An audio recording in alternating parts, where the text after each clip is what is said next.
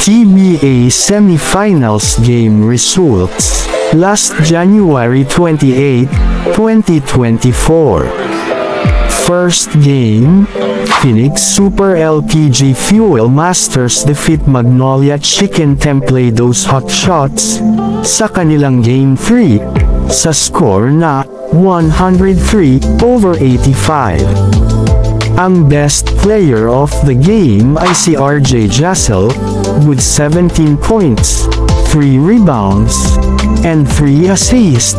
Kaya mayroong Game 4 between Phoenix and Magnolia. Samantala sa second San Miguel Beermen defeat Barangay Ginebra sa score na 94 over 91. Ang best player of the game ay si Jericho Cruz with the score of 17 points, 7 out of 11 field goals, and 2 out of 5 three-pointer.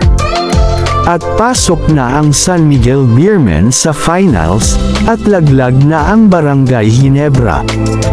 Kaya maghintay na lang ang Beermen sa series ng Magnolia at Phoenix na kung saan maglalaban mamaya sa Game 4, ang Magnolia Chicken Templados Hot Shots vs Phoenix Super LPG Fuel Masters, 8pm sa Mall of Asia.